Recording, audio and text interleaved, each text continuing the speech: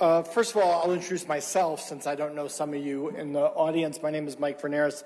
I came here three years ago uh, from the University of Minnesota to head up the pediatric uh, BMT group.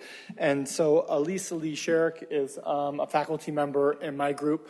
Um, I'm kind of doing this from memory, but uh, I think I'll do it right.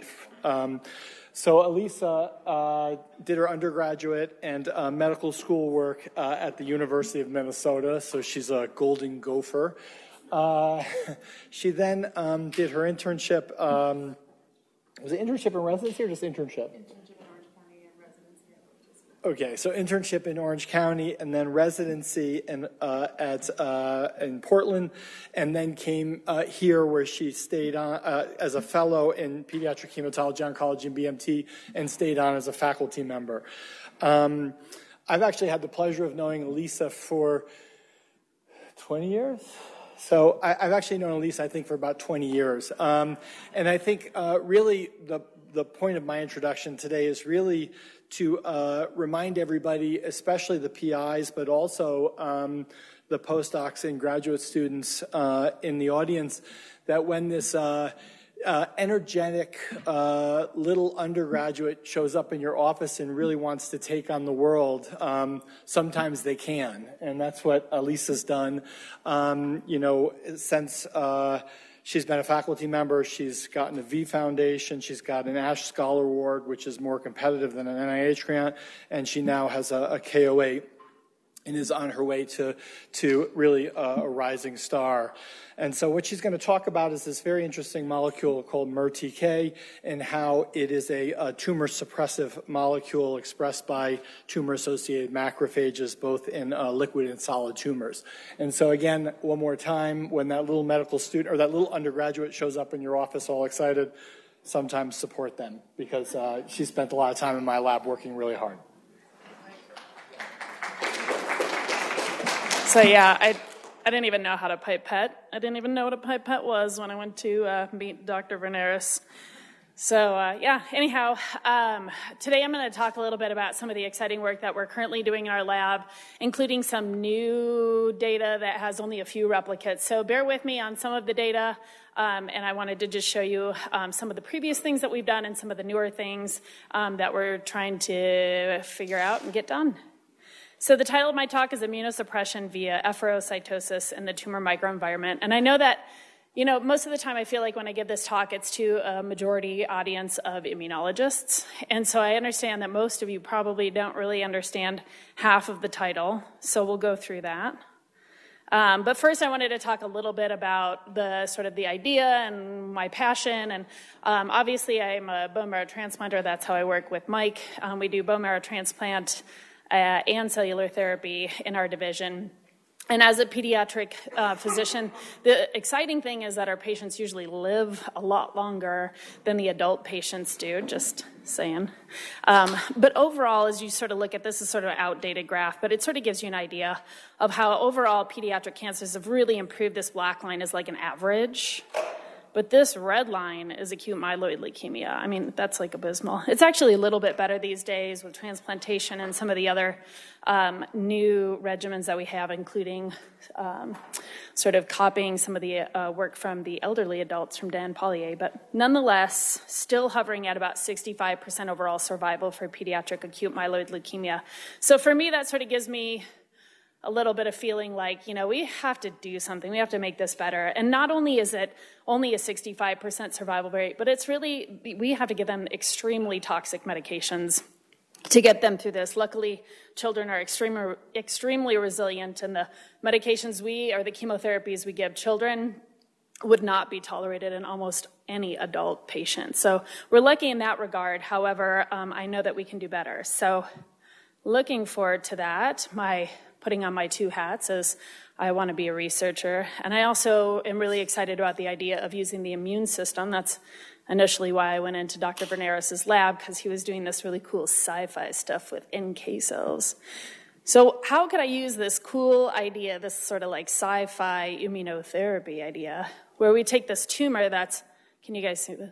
Hopefully you can see Yeah um, this very um, immune suppressive tumor, even if it, you know, solid or liquid tumor, where it's really, you know, sort of not even just the tumor itself that's immunosuppressive, immunosuppressive, but it's also sort of teaching the immune system to also in turn be immune suppressive and further allow the tumor to grow. So we've taken this first little step on finding some antigen where we can target, we can engineer T cells and target the tumor and try to eliminate the tumor using T cells, but there really has to be another way because obviously CAR T cells and some T cell directed therapy doesn't always work. So I'm sort of trying to work on this next step, which is incorporate other some of the other cells that are part of the tumor immune microenvironment, including tumor associated macrophages. This up here you can see is probably, they're probably trying to show a, a, dendritic cell vaccine of something or another. But in any event, how can we sort of incorporate other cells of the immune system that we know are in the microenvironment and maybe further um, suppressing even T cell directed therapy? So, the problem with AML, quite frankly, compared to the successes we've had here with CAR T cells in B cell leukemia is that B cells express CD19, so do B cell leukemias. We can target CD19 easily, and then if we take out their B cells longer term, we can replace their B cell function more or less. Don't hate me, B cell people out there, with IVIG. But we can't really do that with AML. It's so heterogeneous. There's like, I just put this up here, not like you should actually read all of it, but just to be like, look at all the subtypes of AML. They're all so different. How are we going to target AML as a disease, quote unquote, when there's like 50 different kinds with 50 different ways, you know, all these different mutations you can see here, all these different proteins that they likely express? So, going along with that, then there's also, you know, lack of a consistent uh, target antigen basically, if we're going to target some of these mutations, well, that really limits us to a very small sliver of AML. Furthermore, um, you know, this goal of AML therapy is to give a long-term therapy that will last for a while. Unfortunately, um, some of the data, early data that they looked at with regard to CAR Ts on CD33 and CD123 is that there's dim expression on a lot of blasts. So if there's dim antigen expression, that means likely or possibly the CAR T cell will either not engage or will have limited survival proliferation. And then also the issue of a lot of AML cells or blasts um, simply overexpress normal proteins. So hard to really target some of these normal proteins unless we're using it, as you can see this last line, as a bridge to transplant, meaning that they, you know, if we target CD33, we're going to have long-term neutropenia and other cytopenias and for that reason, you know, you can't live without neutrophils. So this really would only be a bridge to another curative therapy. So with that in mind, also thinking about the AML cells themselves, obviously I saw that I showed that other little picture that showing that the AML cells themselves have been known to secrete a number of very T cell suppressive cytokines and other proteins as well as less well described processes where cell turnover and expression of phosphatidylserine on leukemia cells leads to this very, in, in my opinion, very interesting immunosuppressive process called efferocytosis. And that's what I'll mostly be focusing on today. As you can see here, this is just sort of a general idea of like ineffective hematopoiesis. The leukemia cells are growing out of control, really leads to uh, quick cell turnover and then increased expression of phosphatidylserine, which is this uh, green on this picture. So, my question in sort of starting my research um, leaving my old mentor, starting my new research, is there an antigen independent process that we can target in acute leukemia to override immunosuppression? And so, just as a quick overview, I'm going to take you through what is efferocytosis, and specifically, I'll be talking about efferocytosis through a specific tyrosine kinase called MERTK, and how efferocytosis is promotes immune tolerance and therefore helps tumors continue to grow uh, and proliferate. I'll show you at least some of our research showing that inhibition of MERTK uh, in leukemic mice has altered checkpoint receptor expression, which we'll get into a little bit, and cytokine profiles. And then further inhibition of MERTK in cancers, more generally, may be useful to decrease immune evasion. So, what on earth is efferocytosis? This is like a very detailed, overly um, small, you probably can't read a single thing on it, but this is sort of the idea of what immuno, non immunogenic uh, removal of debris by macrophages. So, this is a, a phagocytic process where initially, this, this little bubbly guy here, he's our apoptotic cell that we're going to get rid of. And he's apoptotic probably because there was a wound or an infection and he got destroyed in the process of killing the infection. But this is actually a self cell. This is probably not actually like a bacteria. This is probably just like I was infected with something and I died in the process. Now, in order for this tissue to heal, I have to be, I have to go away. And so the macrophages come along and they're like, hey, I'm helping out. I'm wound healing. I'm getting rid of some of this old garbage and then you know the new tissue can come in and, and make wonderful new organs or whatever the issue you know whatever is being repaired so in any event initially there's a find me signal the macrophage comes in next is the eat me signal and we'll go through each of these steps so first is the find me signal which i won't get into too much but definitely apoptotic cells are known to secrete certain um, chemokines to draw in phagocytes and what I'll be focusing on most today is this eat me signal. Um, and try to point out in this picture a little bit.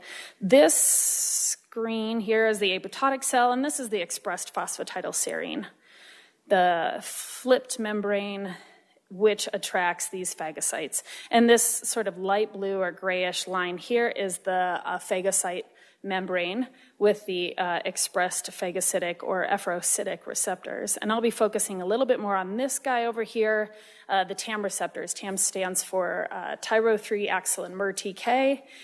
And specifically in this model, um, the TAM receptor binds through a bridging molecule, this little semicircle here called Gas6 or protein S. Um, to the phosphatidylserine. And this process really leads from an activated macrophage pulls it into more of an M2 sort of wound healing, um, anti autoimmunity type of uh, response by the macrophage. You can maybe see here IL 10 and TGF beta both go up, and those are both T cell suppressive cytokines.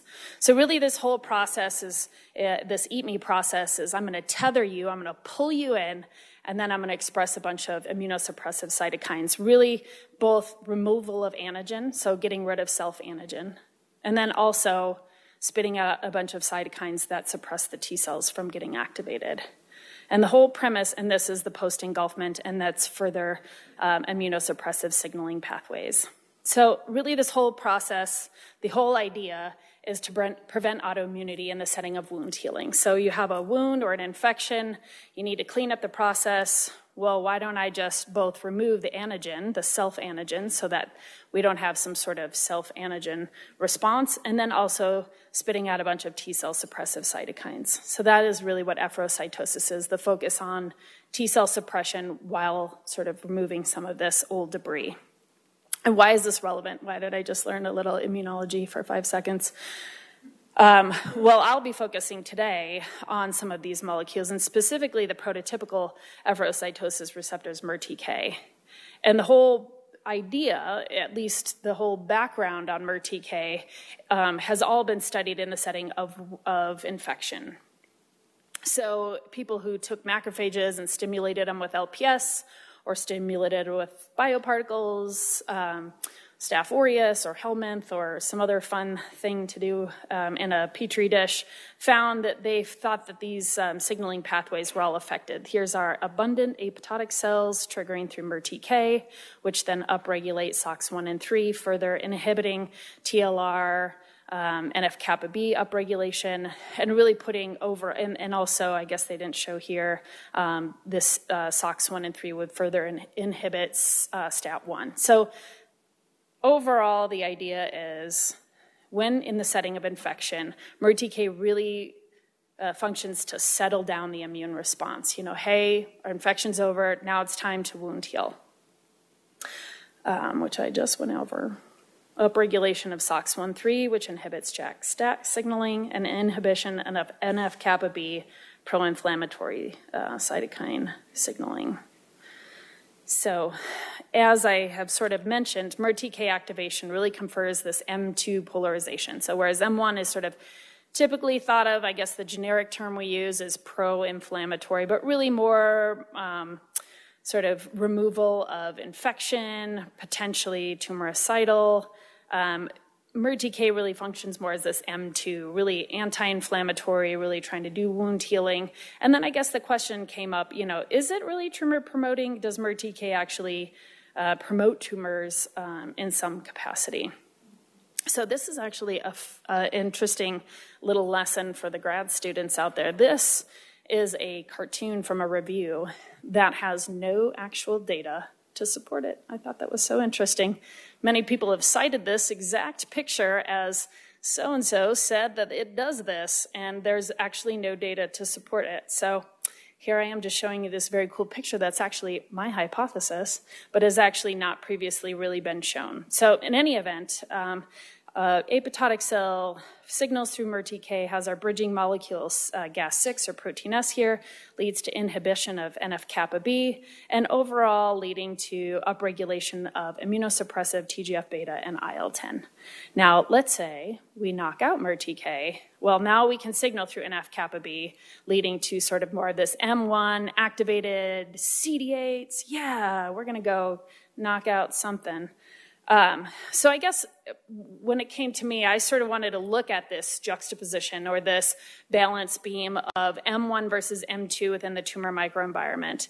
Um, and M2 sort of being like, hey, I'm, I'm, I think I'm wound healing right now. I think this cancer sure seems like an infection or something similar to that. So I'm going to come along and I'm going to suppress some T cells and I'm really going to help this wound grow, but really it's actually cancer cells. Unfortunately, um, that prevents the immune system from working, right?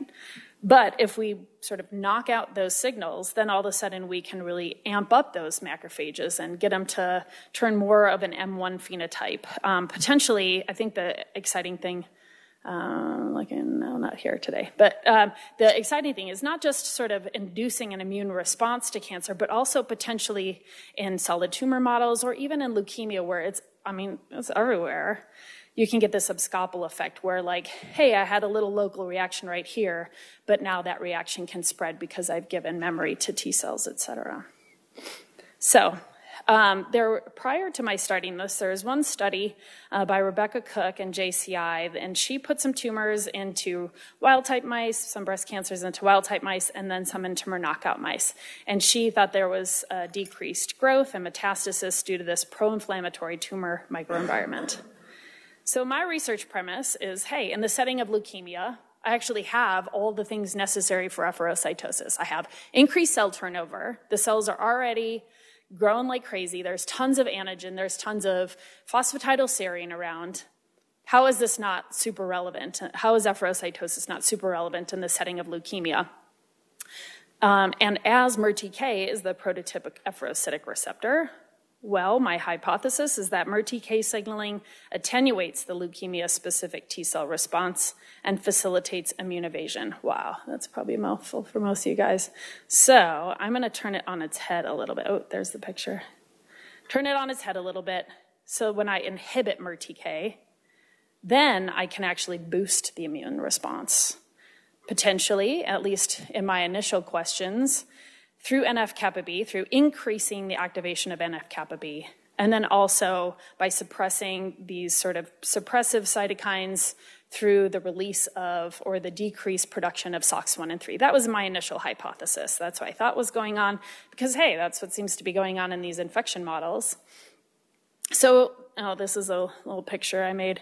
So here the idea is that MERTK um, really on these macrophages engages with this uh, cancer cell that has tons of phosphatidylserine overexpressed on it, leads to inhibition of NF-kappa B uh, inflammation, and leads to upregulation of SOX1 and 3, therefore inhibiting STAT1, and potentially that also might lead to some alteration in checkpoint ligands. If I inhibit MERTK, now I can actually promote NF-kappa B. So lots of fun inflammatory cytokines that might be available. This was my initial hypothesis at least and then also signaling through STAT1 would be available. Um, so, interestingly and excitingly for me, um, not only is there an, an, animal model, but there is also an orally bioavailable MERTK inhibitor. Um, as listed here, this is actually one from um, clinicaltrials.gov and solid or solid tumors um, and excitingly, I helped uh, with the development of this particular inhibitor. So, some of my early work as a fellow, at least, you can see these little pie graphs. The majority of our patients, specifically adult patients, but also in pediatric patients, actually overexpress MERTK. And so, when I manipulated it using shRNAs, you can see by these dash lines, compared to either scramble or wild type, there was extension of survival. So, there was something about these AML cells themselves that, you know, baby myeloid cells are not supposed to express this, but these blasts did. And when I altered it, or when I turned off MERTK, I actually found extension of survival. And then also using the TKI that we had, this is an earlier version of the currently um, clinically available TKI. I also found extension of survival. And these are all in NSG mice. But interestingly, this, um, the signaling I thought might potentially be the same in macrophages through ERK1, 2, AKT, and STAT signaling. So, sort of exciting. Hey, I did this other project, and now I get to use the same molecule and also a molecule that I developed. Um, so I guess my idea was like, hey, I already know a ton about MERTK. I now know about this process that MERTK does in sort of physiologic conditions. Um, why don't I try to use this to boost the immune response in mice? And what I specifically did, since I knew from my previous study that these MERTK expressing cancers are definitely going to die if I inhibit MERTK in these mice. So I specifically found several AML models that are syngeneic and BLAK6, and I basically chose them because they don't express MERTK. So I could really look at the effect of inhibiting MERTK on macrophages. So I took wild type mice and I either treated them with a TKI, or in some of these models, I also have a, a MER knockout mouse. And initially, we just did some initial studies just to look at survival. And this particular model, this AML model, I found when I uh, treated with the TKI, definitely an extension of survival. And then in these knockout mice, I mean, like nobody died. And then we got these really exciting lysum cream or flox mice. Well, we bred them, but, and we had one mouse death, and that was like over, can't remember which holiday, but that was a mouse that died suddenly and did not have uh, evidence of leukemia as far as we could tell, but was not checked, so we will continue to keep him on our curve. Nonetheless, I guess the idea is when I inhibited MERTK, something happened because when I put it in this knockout model, um, definitely there is an increased activation of macrophages. This is not just something associated with the leukemia. We also looked at several different types of leukemia, very, very aggressive mouse model C1498. Um, there was even extension of survival with that model, which is very exciting because if you guys ever worked with this, it is one of the most aggressive tumors I've ever worked with in a mouse. And then same thing, putting in it, um, this is actually one little replicate of uh, C1498s and a knockout mouse. And then also I looked at a primary mouse leukemia and found extension of survival.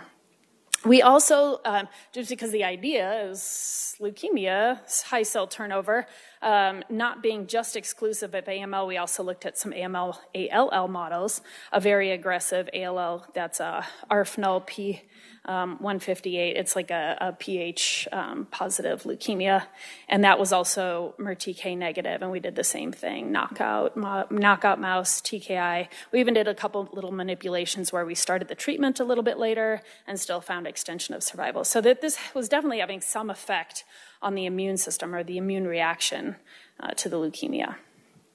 So next what we did was we tried to figure out what exactly is going on during that time. We gave the mice leukemia, we treated them, and then we harvested them. Before they were ready to die, we harvested them just to look at some of their leukemia infiltrating tissues, mainly the marrow and the spleen. And then we also looked at some of their serum cytokines. And so basically, initially, what I'll do is I'll go over some of these checkpoint markers um, because at the time this was like so hot right now. Um, but nonetheless, as you can see here, I have uh, PDL2 up in this top quadrant and PDL1 expression along this axis. So this quadrant really is the double expressors. These guys are PDL1 positive, these are PDL2 positive. And what you can see here is these are just regular mice. They don't have leukemia. They just got saline for funsies. Uh, these middle? These guys have leukemia and they also got saline. And these guys got AML and our TKI that is dissolved in saline.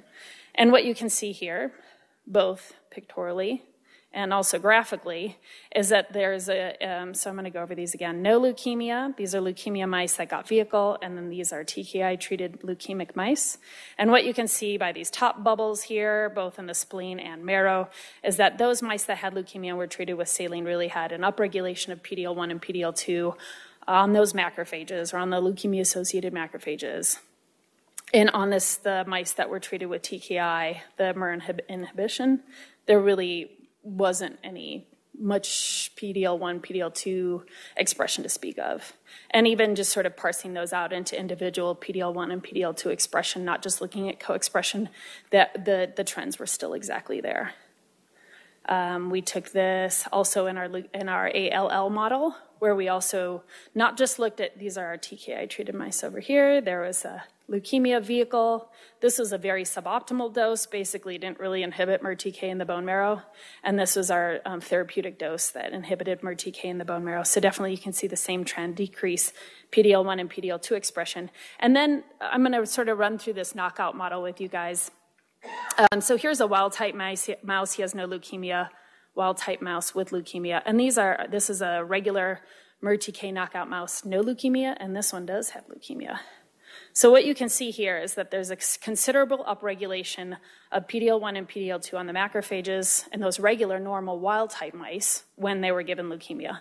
But that upregulation does not occur in the spleen or marrow in MER knockout mice. So there's some connection there between MERTK and some of these checkpoint ligands. Um, this, I think, was exciting.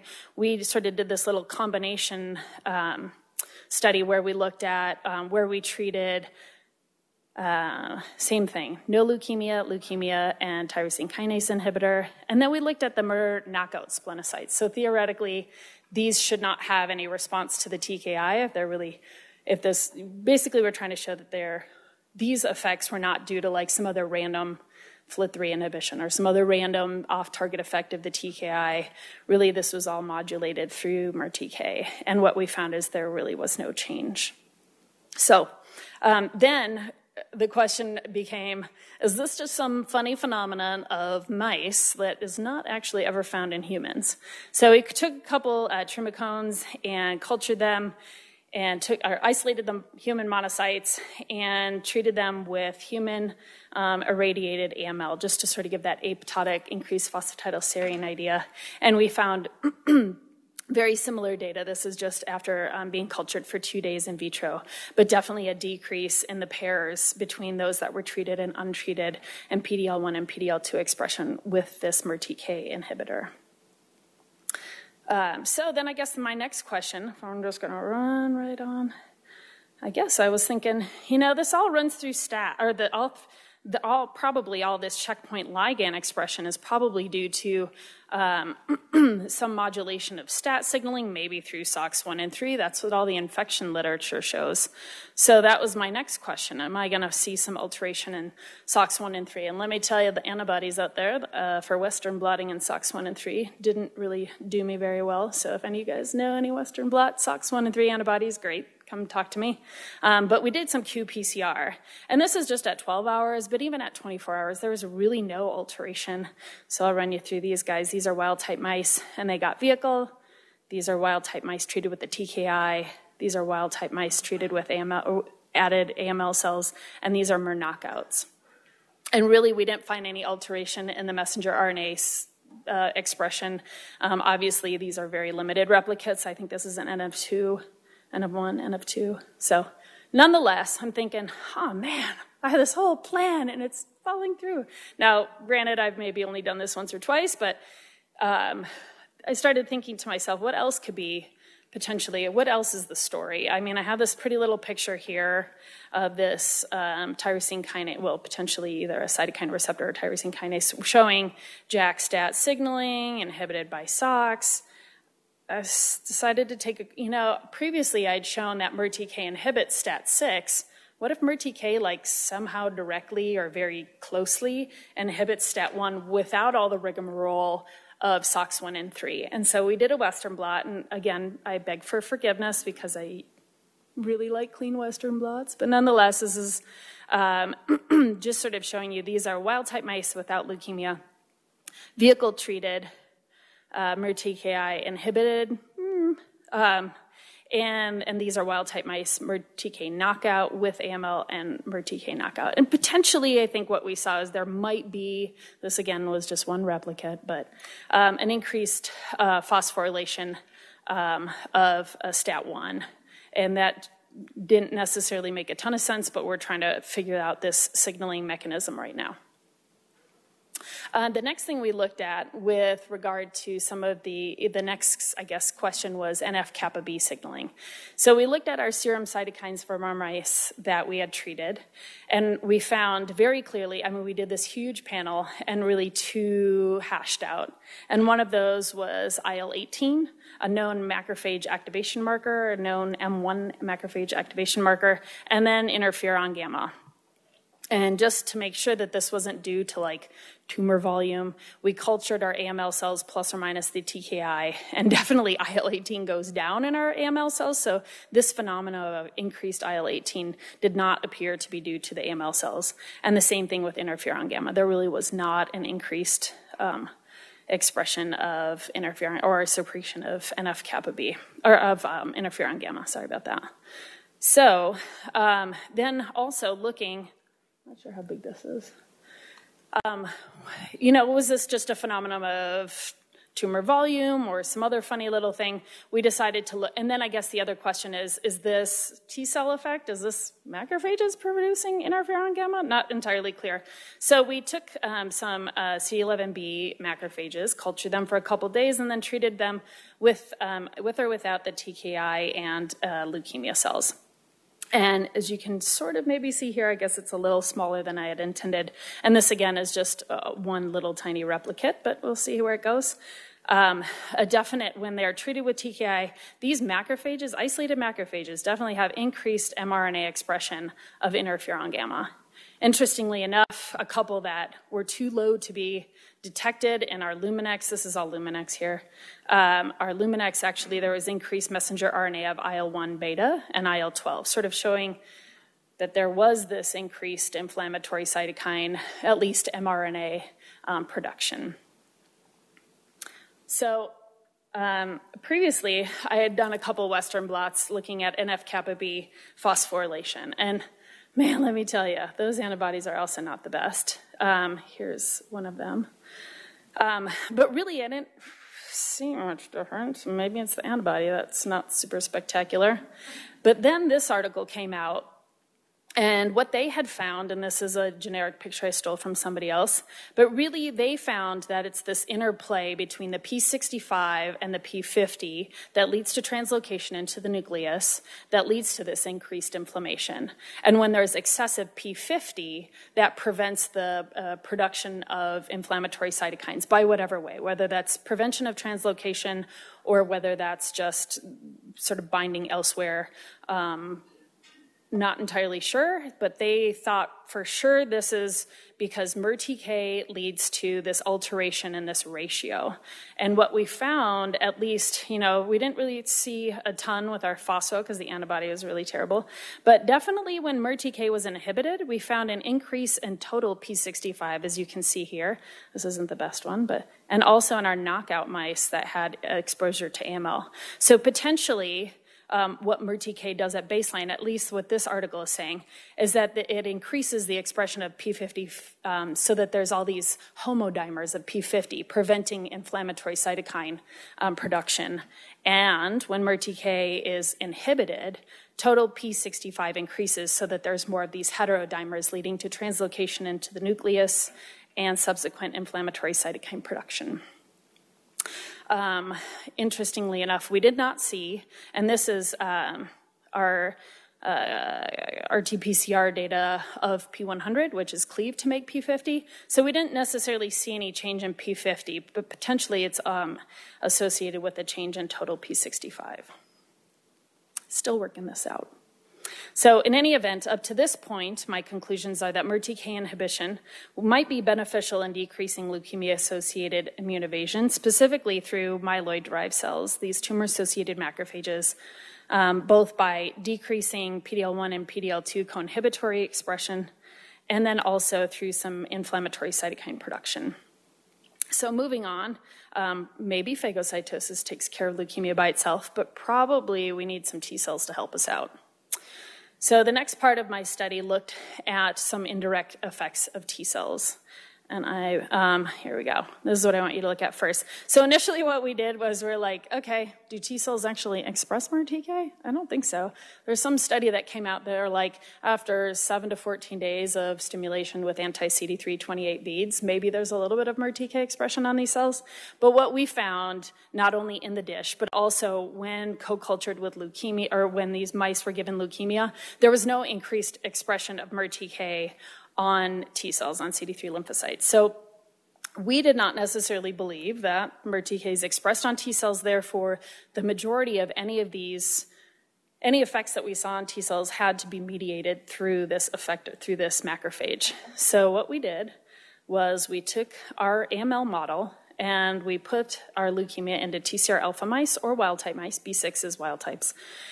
Uh, and then we also did the same where we treated them with an anti CD8 antibody. And what you can see is that the extension of survival um, that the tyrosine kinase inhibitor conferred to the wild type mice was de- mouse was definitely decreased. So indicating, at least in my mind, same thing here, indicating at least in my mind, like definitely phagocytosis has something to do with it, but to get the full boost, the full immune boost from inhibiting MERTK, you need both, you know, myeloid and T cell components.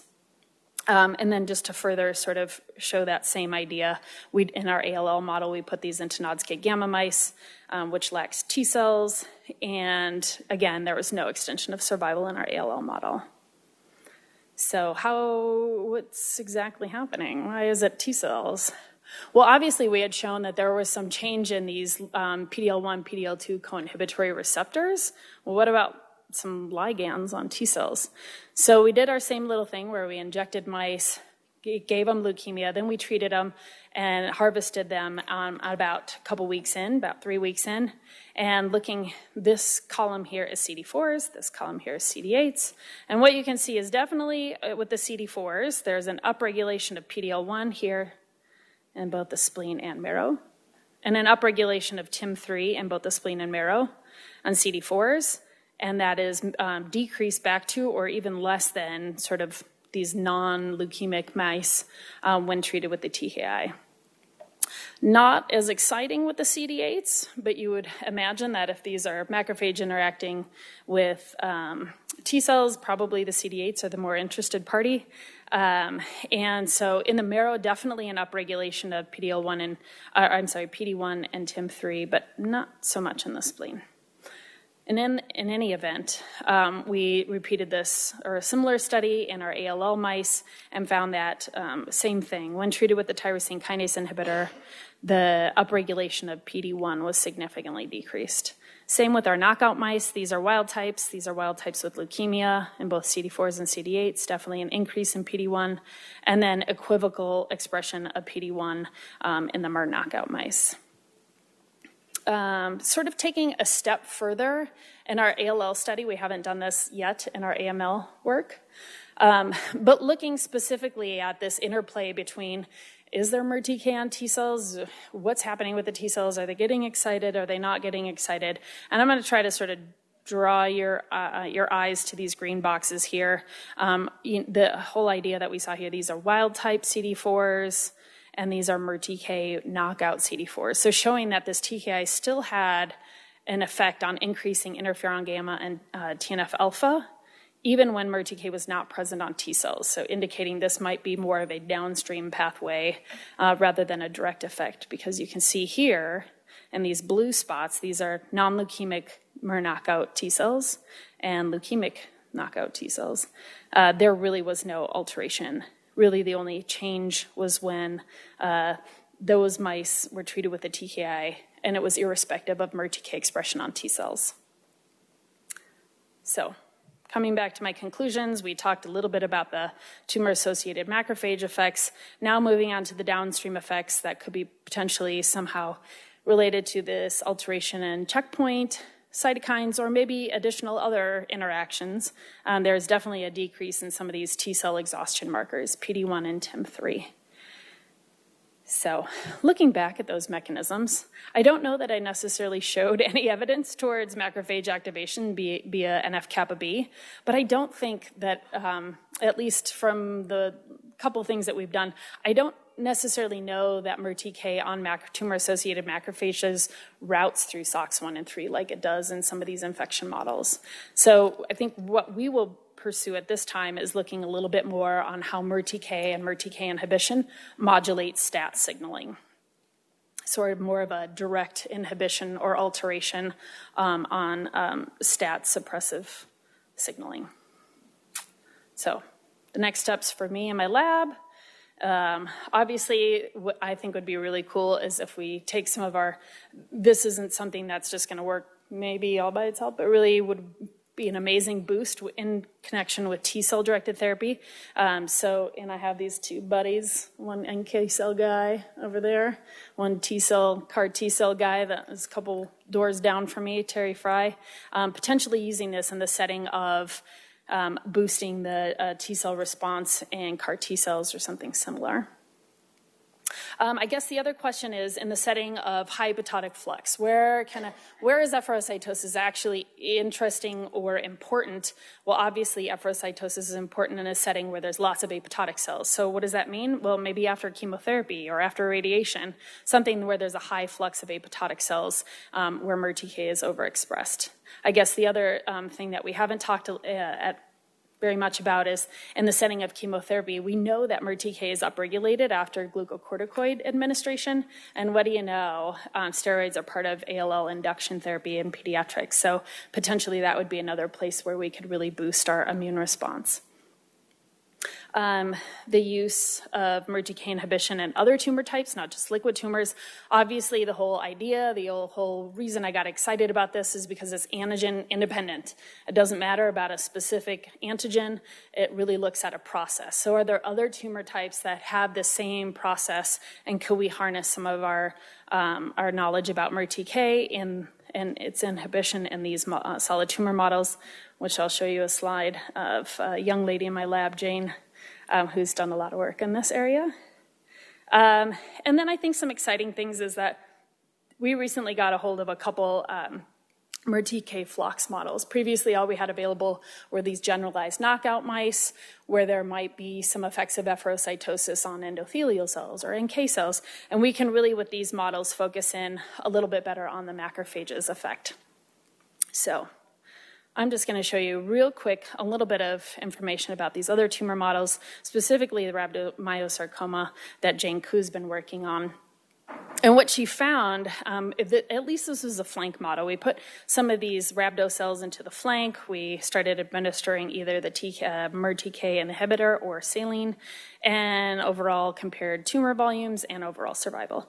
So interesting, like what she found was at a certain point, definitely the saline mice had their tumor outgrowth, whereas this was blunted quite a bit by the MERTK inhibitor. However, there really wasn't an extension in survival. So, you know, is this there? This is a colder tumor? Is this really because these cells don't express a ton of uh, phosphatidylserine, not entirely clear. But our next step is to assess this in a post chemotherapy and eventually a post radiation therapy model of both murine rhabdo and neuroblastoma.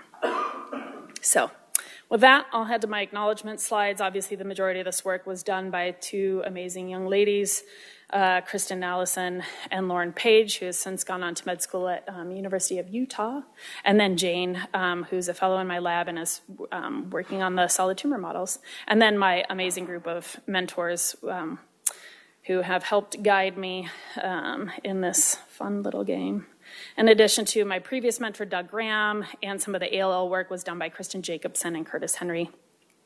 Carla Rothling gave us those Merflox mice, and we get our drug free of charge from Merix. So those are my funding sources. As Dr. Bernares mentioned, um, I have an ASH Scholar, a KO8, a V Foundation, and um, some previous funding that has helped me along the way. So with that, I'll take questions.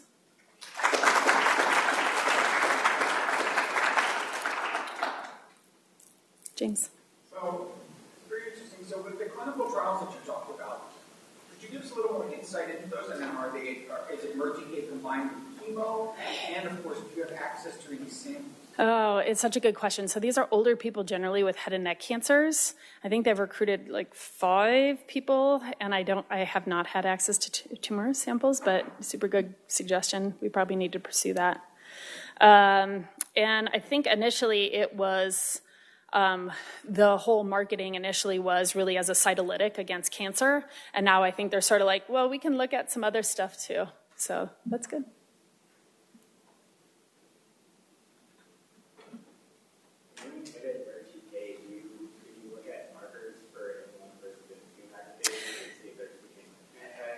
So, um, super good question. Actually, Jane, who just left, um, is going to end up looking at some of those. Um, I guess um, at the time, there was a bit of um, how do I say this in a politically correct way? Some people really felt strongly about some markers, other people felt strongly about other markers, and really what it comes down to is function. And so that's why we started just being like, hey, I'm going to look at SOX, cytokines, some of the other like real, actual, I know this is doing an M1 or an M2 thing rather than like, does it have scavenger receptors? You know, just to be a bit more clear about exactly what's going on. I think the other thing is that we found one of these interesting things about at least our leukemia associated macrophages is that they really sort of do this funny little thing where we think about M1 and M2 as like totally different places, but really there's like overlaps, all kinds of overlaps. And so then it really just does come down to function. Do you have plans to look at T-reg infection? So I am super glad you asked that. Actually, um, we looked at it with our AL. Ah, I didn't include it. Shoot. Um, darn it. Um, I, we did look at it at our ALL stuff, and I didn't include it because we haven't looked at it at all in our AML, but definitely there was an alteration in Tregs. And I think um, some people thought, oh, this is tumor volume. But even when we gave like a little whiff of MERTK inhibition, there still was a significant decrease in Tregs. So I'm not sure what that interplay is. And I actually, um, we're still trying to figure out like IL-10 or TGF beta, like what happens with our immunosuppressive cytokines. I, I'm not entirely sure, and I don't know that it's going to be consistent across every single tumor model. But I think our neuroblastoma stuff will probably will look at Tregs too. Yeah. And then with your SOX-free, like Western blot phase, do you have plans to follow up on that with like a positive control situation? Super good question. So, um, I guess initially some of the um, issues that I had was that everyone always uses like the uh, like a positive control that maybe like a di- you know like LPS. It's not. It's all run through TLR4. So I guess I was sort of trying to parse out: is this through TLR9 or is this some other sort of signaling pathway? Where how am I really going to induce that? So maybe. I, I, I mean, maybe that's what we'll try. Um, but yeah it's it's trying it's like this little line between like should i just do it like everybody else does it or should i like try to make it super clean? So anyway. Yeah. Um, I have to wonder, you said you're making improvements away from the license created CX301 mouse. just because of the it's inducible and in our knockout mouse we found that it expresses crap tons of il-10 to sort of like chill itself out And so I was wondering if you were having issues with DC cell sets that were coming out of the license creed. Um, I actually don't mind the DCs coming out. Like, there's so little compared to the macrophages that it, like, I didn't feel like I needed to parse out that 0.5%. But I, I guess the reason is because of Merticase function in DC. A lot of people showed that Myeloid DCs. Um, rather than the sort of confounding. Yeah, and, and I also feel like there's a bunch of like super disparate um, data. One of the articles that I showed about the P50 dimers also said that they didn't believe that DCs express MERTK. I'm like, oh, for the love of God, here we go again. But um, but so I, I like at first I tried to like parse out some of the DCs from the tumor associated macrophages, and it just felt like there was just too much overlap, and so I just included them, and I was calling them tumor associated macrophages for a while. I was calling them antigen presenting cells, you know, like it's hard to actually get enough data on this little tiny population. But it's a good question nonetheless. Honestly, it's because of the inducibility. It sort of mimics the TKI a little bit better. So if I just turn it on, and turn it off. Works a little bit closer than having this chronic inflammation. And how is that affecting the leukemia? I don't know. Yeah. So I, I found the, uh, the effect on PDL2 really, really impressive, more so than PDL1. Um, so do you know whether the drug can either actively downregulate the expression of PDL2 on cells that are already high, or does it simply prevent PDL2 from being induced? So, um, so let's see. So the cells that are already high. So we did that in uh some of our AML cells, and I really am for this talk was trying to focus on the macrophages, but definitely when we had our AML cells, they already have a ton of PDL1 or PDL1 and PDL2, and that downregulated them. Just culture, just sitting in culture for a day or two.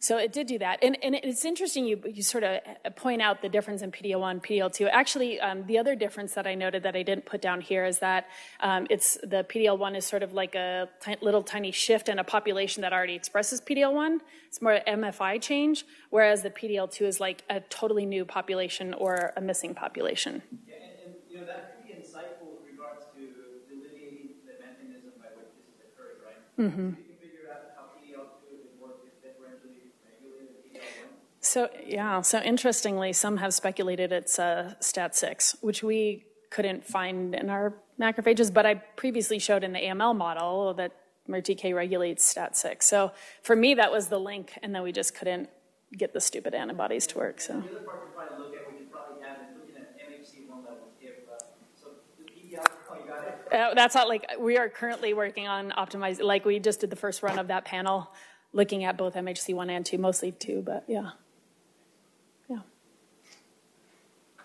Cool. Thanks, guys.